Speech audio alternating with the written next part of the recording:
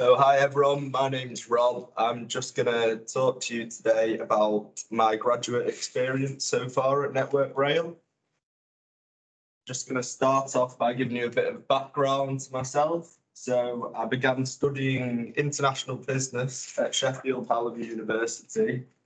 Then I um, completed a year in industry during this time at Network Rail in the Environment and Sustainable Development team as a project manager and then went back to university and graduated in 2022 before rejoining Network Rail again on the Business Change graduate scheme in September 2022.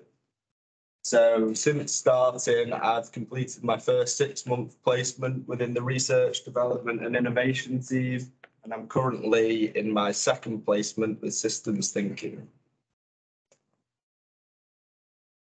So this is one of the projects that I worked on for R&D.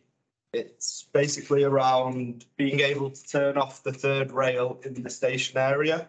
So the concept of the project is that when a train comes into the station area, uh, it will turn off third rail by going over a switch. And then when the train leaves the station area again, it will go over another switch and it will turn this third rail off, sorry. So when the train comes into the station area, it turns the third rail on, and when it leaves, it turns the third rail off. So the idea behind this project came from the ORR, who highlighted the risk of having a live third rail on in the station area. I started working on the benefit case when I was working on the project, and basically, I think Network Rail averages about three fatalities per year to do with the third rail in station areas. So hopefully, as a result of this project, it'll reduce that and the injuries associated with it as well. Um, another benefit for this project is around further DC electrification. So hopefully, with this switch, it will allow us to electrify the railway third rail electrification instead of OLE. So it's a bit of a more cost efficient way to electrify the railway. Um, it's worth saying the diagram on the screen is an outline proposal. The project's still in its feasibility stage, so they're working out the, the end solution still since I've left the project. Sorry. Um, so I've just put up a few challenges that I've sort of noticed and faced since working in the railway for about eight months now. So the organisational structure was one of them. Network Rail is a federation of devolved businesses operating within a national framework. So what this means is each route has their own strategic business plan for the control period. Um, I found that it can be tricky working in this structure because it feels quite disjointed with routes and regions wanting one thing and maybe central function wanting another, or they both just don't know about what each other are doing. So it's it can be complicated at times, I'd say, especially in R and D. I found this as well because we'd have some projects nearing maturity and regions wouldn't know what the projects were or and they're the customers for these projects at the end of the day. Um, so secondly, ownership and accountability. This again ties into the devolved working structure as well. So I found when I'm working on projects, it can be confusing at times who actually owns the work on the project, whether it's the regions and the routes or whether it's central function TA. So it's finding that balance and sort of making it clear to everyone who's involved in the project what their roles and responsibilities are. Um, and finally, implementing change. So one barrier to implementing change that I think I've noticed would be sort of change fatigue within Network Rail. We've had lots of programs try and change, and maybe they've not been quite so successful. So people now, when they hear change, are quite reluctant to get involved with it because they fear it's just going to be another change project that doesn't have much impact. And another barrier around implementing change, I would say, is the culture at Network Rail. We're quite, unless change is forced upon you, people don't really like to go out their way to implement change. There are exceptions, of course, people who pioneer change, but yeah, I'd say those two are some of the challenges around that. And finally, I'm just going to talk about some business opportunities. So GBR, as we know, GBR TT coming in, working on Great British Rail. I think this is an opportunity for the business because they're pulling together all the relevant components under the same roof, if you like. So it's going to bring together track, trains, stations, and technology. So hopefully the decision making will be more in the interest of everyone rather than everyone trying to force their own um, decisions for their own interests. Um, second opportunity, I've touched on technology and innovation already, but I think there's the great a great chance for us to sort of create more efficiencies and use technology and innovation more within the rail industry. Um, one example of that, I guess, would be um, tap in, tap out at stations in the tube now. So that's that's one little example of technology that is an efficiency saver. You've also got huge opportunities around like rolling stock. So for example, Hydroflex is the UK's first hydrogen ready passenger train operating under electric battery and hydrogen power. So there's lots of sort of, there's a vast scope of improvements and areas that we can look to save in regards to technology and innovation, I think. And finally, a greener railway. So as I mentioned, I spent my year in industry in the environment and sustainable development team. So I saw a lot of the work that they're doing there with the decarbonisation strategy. And this one really, I think I find it just quite exciting because there's going to be lots of change in the network over the over the next sort of 20, 30 years. So seeing how that develops and how we keep up with our competitors would be interesting. and that's everything from me, unless anyone's got any questions. Thanks, Rob. Anybody got any questions for Rob at the moment? Liam? Rob, um, so I was interested in what you said about the R and D, your time in R and D and, um, how you may do a project, do projects for a particular route or region, but then, uh, or an innovation on a route or region, but that isn't always then necessarily easily translated to other regions because then they want different things. Is that what? you- is that what Yeah, so I think each project is different. So the one I worked on and talked about a bit there was working more specifically with Southern Region, an area, a specific area within Southern Region, I think it was, because they had DC on their patch, so it was brought there. I know Liverpool has some. So that solution wouldn't be for the whole network. That was particularly for for small areas, but I know other projects like one that Daisy's working on. Um, it's trying to find the customers all from all the regions and get them bought into the projects. But I think maybe we do it too late in the process. Yeah, I was going to say, so what, what's your views on how to improve? Because I suppose you want to do an R and D project which meets a specific need for a specific customer, but you also, there's the central R and D team, and you of need to kind of step back a little bit as well and ask, at what point can we make something that satisfies all of the regions?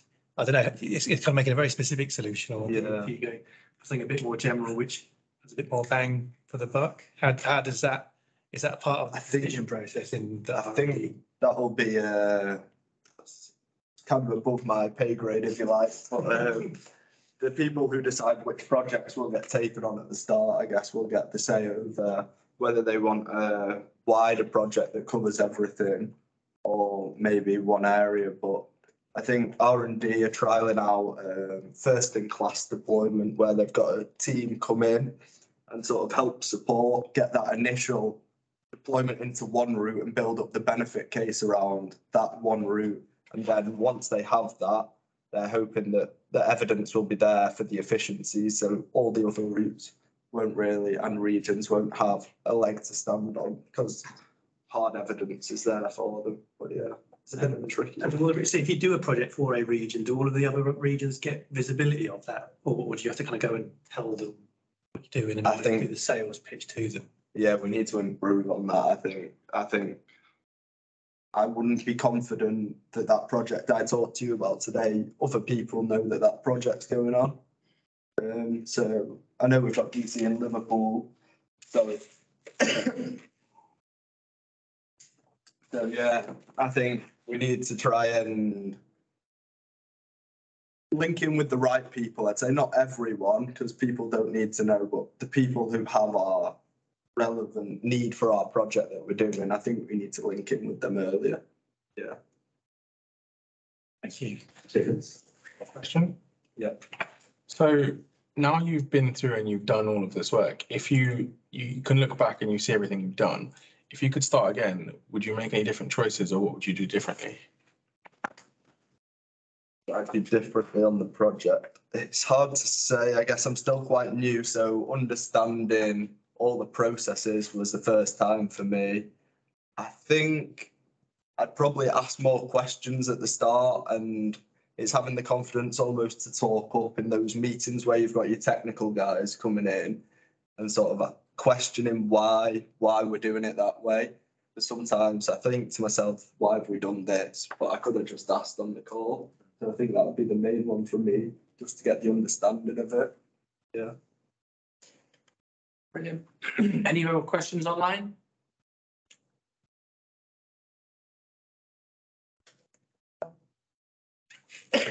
All right. Okay, lovely. Shall I stop sharing now?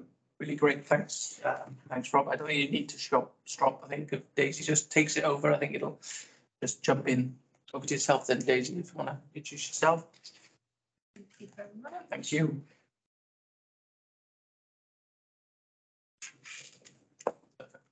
Good, thanks very much. Thanks for having me. Um, really appreciate it. So my name's Daisy Daymond and I'm a recent project manager in research development. And I say recent because um, I was a graduate. I've been a project manager now for about three months and I'll go on to explain a little bit about my journey to be a project manager now. So this is a bit about me. I would first like to point out that I have been a student for longer than two years. Um, that kind of just starts at the university level. Um, I went to University of Buckingham, which is local to the Milton Keynes. Um, I wanted to get my degree done in two years as quickly as possible, get it over and done with, and get out um, into a business and into the real world and see what it's like. Um, and I chose to do that via going to a project management graduate scheme. I didn't always know that I wanted to do project management, um, but I thought the skills lended itself quite well to who I am as a person, and I'll go on to talk a bit about that in a second um, but kind of the organisation of it, the time management, I thought that it would marry perfectly, and I'm loving it so far. It's, it's brilliant. Um, and from that, I was a graduate for about 15 months. So I left the scheme a little bit early, um, but this opportunity came up to be in research and development, um, specifically within the track maintenance and plant programme, and I just jumped at the opportunity. Um, I knew that I was ready for a new challenge and um, that I wanted to push myself. I knew that being a project manager wouldn't be easy. Um, especially in the track maintenance and plant program. I don't have much experience in track maintenance and plant. It's a very new world to me, but it's one that I'm really interested in. Um, and it's fantastic to work in this space. Aside from that, um, a couple of other things is that I'm a DNI champion. I feel really passionately about DNI and Network Rail um, and the border industry. And I'm on the Can Do leadership team as well. So Can Do is our disability employee network. Um, and that has personal ties to myself. So for those that don't know me or haven't spoken to about this before, I'm actually autistic. And I say that, and sometimes it can make me go inside myself, and you can become quite nervous when admitting that. But in other times, I'm really proud of it. Um, and people tell me it's something to be proud of all the time. But actually, when you face the challenges that I can face, and I'm sure many other people that I know with autism face, it's difficult. It's really difficult. Um, so I want to talk to you about diversity, inclusion, and network rail um, and the challenges that I've faced and what you can do to help me and people like me, because I think that's really important. That's why I'm here. I don't take the choice to kind of make myself vulnerable without seeing a benefit that it will help even just one person open up um, their minds to what it's like to live with autism or any other protected characteristics, for example. So there's nine protected characteristics that Network Rail focus on and that actually, in fact, everyone focuses on. And this kind of spurs on our Everyone Matters diversity and inclusion strategy. Now, that came about at the beginning of the control period, so about four or five years ago now. And it's, it is outdated. We've made significant strides to improve that and improve our diversity and inclusion in Network Rail. Um, that's, that can't be hidden, but actually how far have we come? That's the question. Yes, we've improved, but is it good enough? And that's something that we really need to tackle. So if we look at the start of CP6, 1.28% of people said that they were disabled in the business. That's now raised to approximately 3%. But actually, when we look at that, yes, it's good that it's, it's raised and you look at that kind of black and white, it's raised, that's a good thing. We know that more people are declaring that they're disabled. But actually, when you compare that to against 14 million people in the UK being disabled, it's a fraction of that. And considering that we have 44,000 employees at Network Rail, we know that proportion is a lot higher. So almost 50% of people at the beginning of CP6 chose not to declare that they were disabled. But when we have discussions, actually telling the business that you prefer not to say is a better answer than saying nothing at all. Because at least then we know that you're not comfortable with it and we can make strides to improving that. Whether it's being more inclusive, whether it's pushing out campaigns about, you know, what this means and how you do it. Um, and tackling some of the common misconceptions as well. So people might think, oh, I don't want to declare that I'm disabled because my line manager will see it. And if my line manager sees it, I might get discriminated against at work. And you might think, you know, as someone that's not disabled, perhaps that that doesn't happen. Well, yes, it does. And that's the problem. So we need to be tackling this.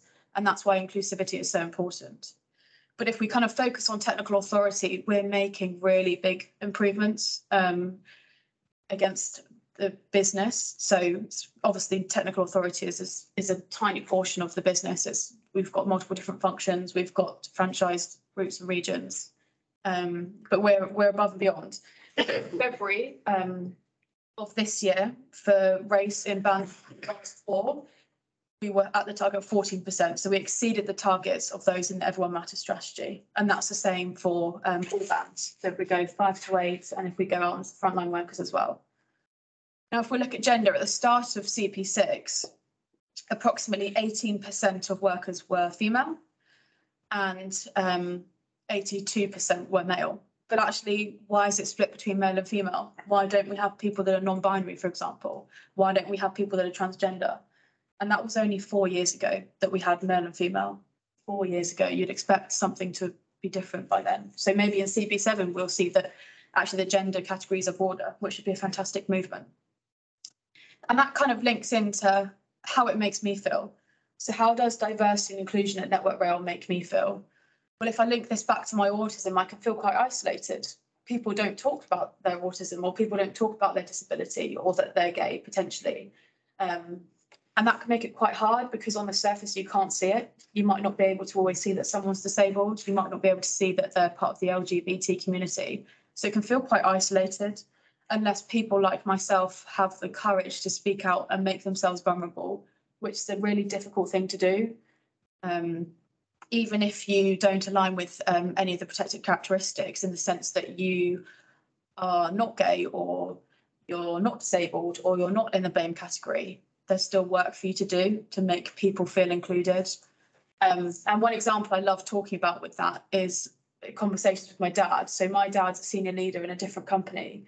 Um, and he always used to talk to me about diversity and inclusion. And it was very evident to me that he just didn't know what he was talking about. to put it simply, he had absolutely no idea. Um, and I get that across different conversations I have. People saying, you know, why do people introduce with their pronouns, or saying, you know, why does why do people do this or why do people do that? And it can be quite difficult. And I sat my dad down and I said, look, what is it that you struggle with? And he told me the challenges that he felt or the misconceptions that he had. And we went through them. And i ended the conversation by quite bluntly saying you need to be better. I said to him this is not good enough.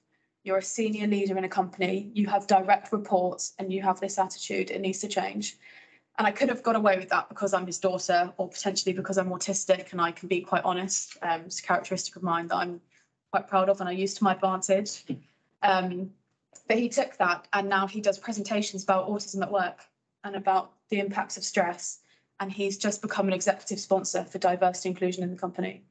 And that makes me so proud. And that leads on to my next example there. So the emotion of being of being proud, of pride. I can feel really proud for a number of reasons. That can be for myself, being brave, having the courage, or that can be for others. So if I see someone making a stride, so I was in a um, technical authority DNI meeting and someone said, hi, my name's so-and-so, my pronouns are they, them. And I thought, wow, that was really brave, really, really brave. And it wasn't brave because their pronouns are they, them. It was brave because they were the only person in the room that did that. So automatically it singled them out. They could have been a she, her, they could have been he, him, but the fact that they were the only person. And that's something that you can do to be more inclusive in your team meetings. So I can feel happiness as well. You know, I'm, I'm happy as I am. I don't want to change.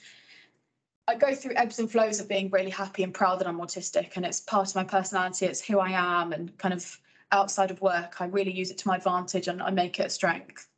But also I can be really sad and find it really challenging.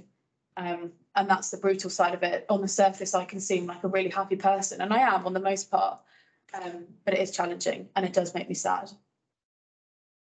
And if we go on to the next slide, this is what you can do to help. So if I'm feeling isolated, be more inclusive. It's that simple. Be more inclusive. And you might ask, how can you do that? There are so many ways that you can do that.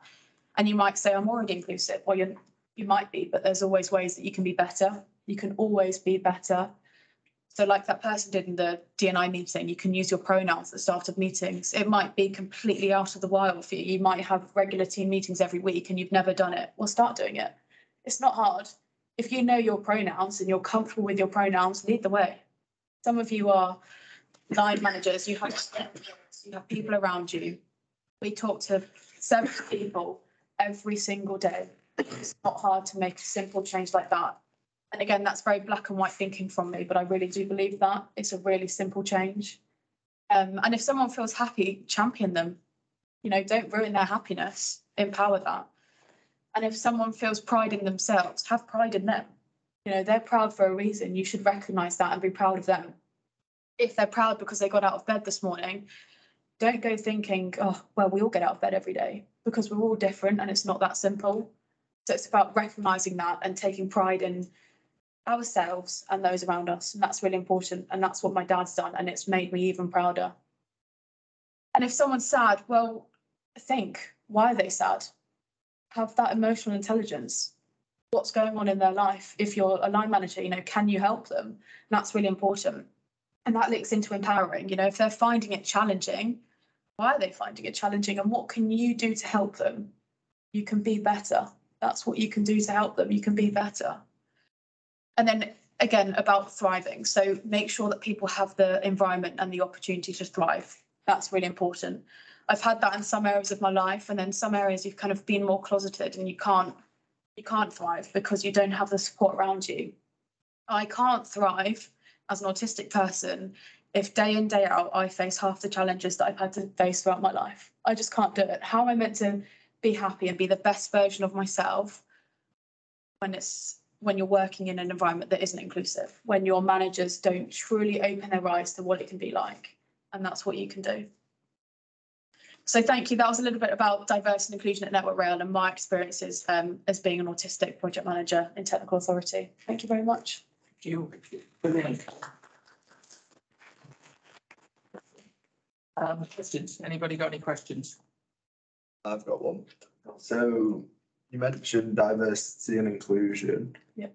It's obviously a very different environment here in Milton Keynes to when you go into the DUs. Yeah. How do you start getting the same message across there that you, I'm not saying have got across here, Yeah. but is improving here?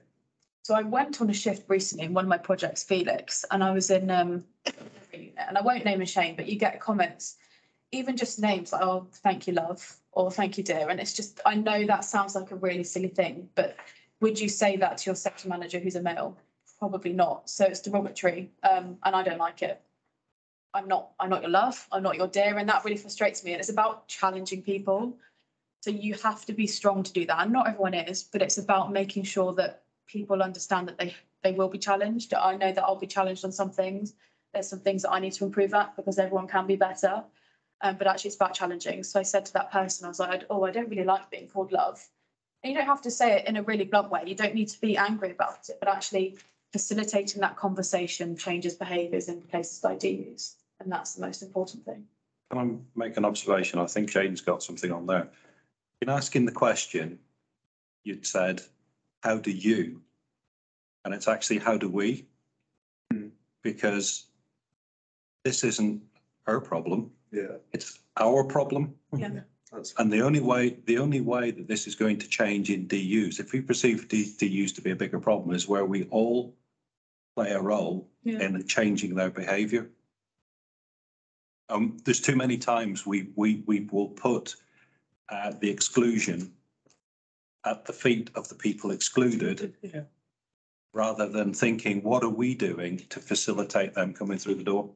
And that's a really good point, because can you imagine for me going on a twelve hour shift, how exhausting it is to travel two hours down to that area, then do a twelve hour shift, then travel two hours back. That's hard enough as it is. When you add on being autistic and you've got that added mental fatigue and kind of masking your autism in front of a crowd that you don't know, and then you've got on top of that, people making comments like that and you having to bat them away, it is exhausting.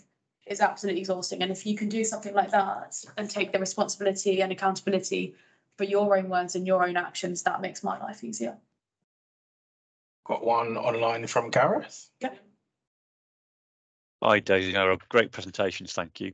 Uh, Daisy, I I really like your challenge that we need, you know, we need to challenge ourselves to be better from a personal perspective and from an organisational perspective. Yeah. Isn't that where we're looking at anywhere that, you know, is leading, are we leading the way in diversity, diversity and inclusion, sort of the direction we're going, the, the pace we're going? Are there others that do it better? Are we looking at them, do you think? Seriously? In terms of the business or technical authority as a function, for example? Uh, a bit of both, I suppose. What do, what do you think? On the surface, we are a disability confident leader, we being Network Rail. We have won awards for our LGBT commitments. We've got, uh, I think it's seven employee networks. So on the surface, we're leading the way, but actually if you granulate that, there's a lot of work to do. And that's like us. So I kind of imagine the people in this organisation to be like little ants. Um, there's so many of us, but we can all have a massive impact on each other. And the way I was talking to my dad about this actually, and I was like, if you see a trail of ants, you'll see they carry big leaves and they've got a big burden on their shoulders. That's how I feel. And there's other ants that are trailing behind or actually probably in front and they're not carrying the leaves. Um, and when you put it like that, there's a lot of work left to be done. And yes, some other organisations are are doing really well and probably doing better, but there's also people doing worse. And it's about taking the lessons from those that are doing really well and learning from those that aren't. Why aren't they doing well? What is it that they haven't done? And then if they are doing well, what is it that we need to do more? And it's all well having accreditations and awards, but actually what does that mean in practice and how do your employees feel? That's the most important thing.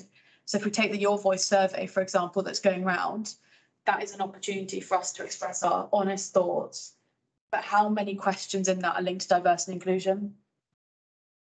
Not many. Not many, so no, I was I was reflecting on that and yeah, is it a missed opportunity for us then to to really get that feedback from I think so, because we're a, we're a safety critical organisation, right? Not every organisation is safety critical. So that's fair enough. You know, I get that there might not be loads of questions about safety. But every single organisation in this, in this world have a responsibility for diversity and inclusion. Yeah. Every single organisation.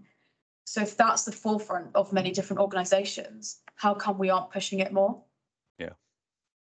Thanks, Daisy. Thanks, Gary. We've got another one online from Colin and I'll come to you afterwards, Lee. Hi, Colin. Hi, Daisy. Um, I do sit on the spectrum, um, so so you're not alone in this particular meeting. The, I suppose the one question would be, have you ever read a book by called by Matthew Syed called Rebel Ideas? I haven't, no. It's it's worth getting a copy. It's about diversity inclusion, but also having diversity in thinking. So in terms of not necessarily neurotypical or neurodiverse, but having get it getting everything in. And I think as as a business, yes, we we we are we we do tick. Uh, and Syed is spelled S Y E D or S D. S Y. Yeah, I was Anyway, just noting it on my phone. Yeah. Um, I think that, that as a business, yes, we, we we tick the boxes. I think there's a large amount of focus on certain areas that particularly large organisations, government organisations get monitored on. But I think when it comes to neurodiversity, I think it does less well. I, Yeah. I sit I sit within system operator. I'm a operational train planner, and there's a large number of my colleagues, and it is recognised as a, as a as a role that is quite suitable for people who have a particular Yeah. um, mindset. And we're better at we we we're slowly getting better at recruiting, and we're slowly getting better at dealing with sort of fallout if people do have issues. Yeah. Um, but we're not very good at actually helping our line managers recognise when people are about to fall off the perch, as it were. Um, and I think if can do and and perhaps you and I should have a coffee and put the world to rights. Um, but it's Great. it's it's it, it, it's it, it's it's work in progress. Yeah. But I think sometimes our line managers get the expectation of what they can do is so much that they don't have time to remember it all. You know, it's not something that's necessarily there all the time in, in any type of diversity. Um, most of all on on the autistic spectrum, but we can we can I say we can talk about that another time. Yeah, Um, definitely. Yeah, but but thank you thank you for the scene. Thank you for sharing. I know my I know some of our colleagues, our female colleagues, are getting late diagnosis again because they've been masking, and I think that's something that that needs to be the business needs to work at understanding and allowing people to say I am. Yeah, But thank so you. So thank you for today. Thanks, Colin. You've touched on a really big point there about females and masking. Um, and when I come into the office, I step through the doors and I never subcon, I never consciously say, oh, Daisy, you're in the office now. You've got to pretend to be normal is what I say to myself. You know, it just happens. It does just happen. And people kind of meet me outside the office and I'll be in my home environment. I'll be comfortable. I'll be wearing shorts because I don't like the feeling of trousers on my legs and things like that. It's just small changes like that when I'm at home. And I'm myself. I am my true self at home. And I can dance around because I'm excited and I'm going to Lisbon at the weekend. I can start clapping my hands because I've seen something funny on the TV. But if I dared clap my hands randomly in a meeting, someone would be like, Who is she, what is she doing? What is she doing? They just people just don't have that understanding. So I'm forced to mask. And it it for me it doesn't affect me because I um I feel like I'm a strong person. Um and it's not like I go home and I'm like, oh, that was a tiring day. I've had to mask all day because it just happens. It just happens naturally, which is a shame. It's a big shame, and it means that people don't don't get diagnosed, um, and potentially they can't be their true self at work, which is not how it should be at all. Um, but actually, when people do de- get the diagnosis, it can unlock a, a whole new world. Sometimes for better, sometimes for worse. I often say to my parents, I feel like I've got more autistic since I was told I was autistic but that could be because it's recognized and I'm not that troublemaker and I'm not just someone that's clapping randomly. I am actually autistic, so now I can be myself because people know I'm autistic. So there's pros and cons of a diagnosis, um, and it's definitely harder when you're a female because it's it's often identified a lot later. Um, so that was a great point to raise. Thank you, Colin. We'll Yeah. definitely put the world to rights over a coffee. Yes. Uh, are you in Milton Keynes all the time, or just Most of the time, yeah. most of the time? Two, three Okay. days a week. So yeah, I'll, drop me a I'll- message and we'll go for a coffee. We'll, we'll, we will do. Take care. I'll, I'm gonna have to go soon, but thank you for today. Thanks, Colin. Thank you, thank, and thank you to both, both of you. It's been really interesting. Thank you. Thanks, Colin. I think Liam had a question.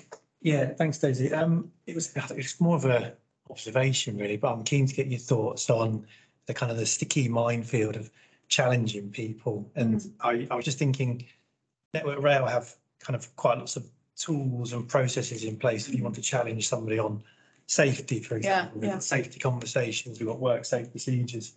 Um, but in terms of challenging somebody on something that may, they may have said to you that, that it isn't particularly inclusive, that's a whole other minefield Yeah. and you want, you need to do it in a way that you want to try and get the best outcome for the person being challenged, but also the challenger as well. Yeah. And um, do you feel there's enough?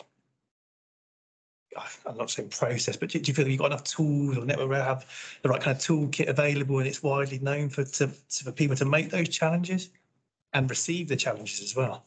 I do, but I think I come from a different perspective in that I'm a young female. I'm already at a disadvantage. And then when I have to challenge someone that perhaps has more authority or definitely have more experience than me, that's where it becomes really hard. Um, and I think there's a number of tools and resources that people can give you, but actually it's about having that inner strength to say, actually, that's not right. And with safety, for me, it's, it's black and white in the fact that it's either safe or it's not. Whereas diverse, in my opinion, whereas diverse inclusion is a lot more in that grey area. So some people might not have a problem with it, but actually I have a problem with it. And it's about people recognizing that whilst it doesn't offend that person, the person that I'm talking to about this is offended. What do I need to do?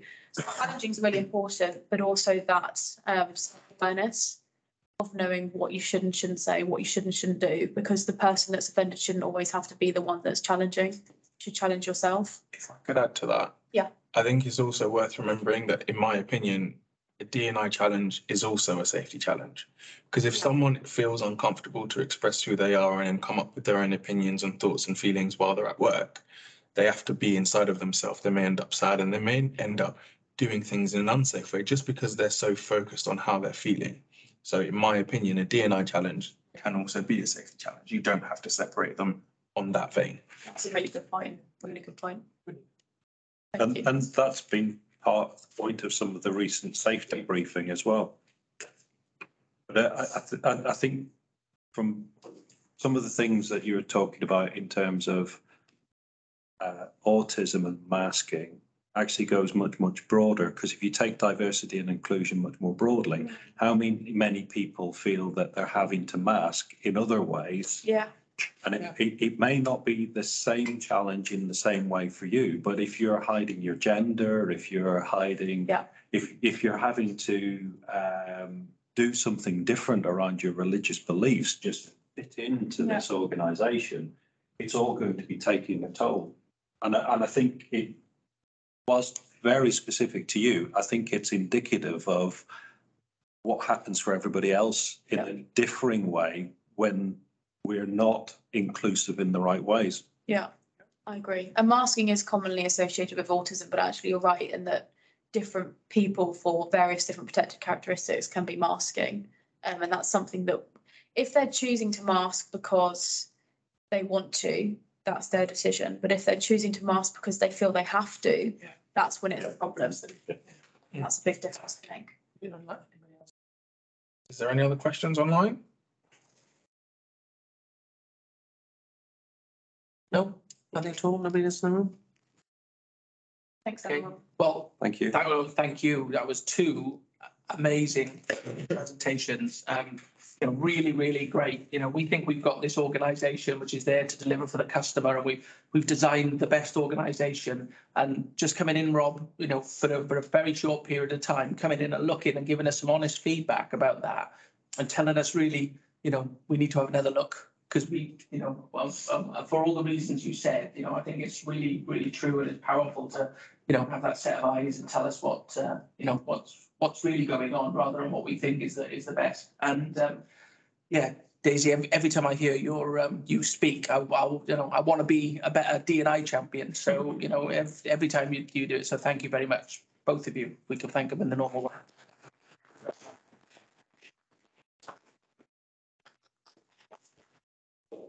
So, without anything else, I think that brings us to a close, doesn't it? Yes, I believe it does. Anybody online? AOB?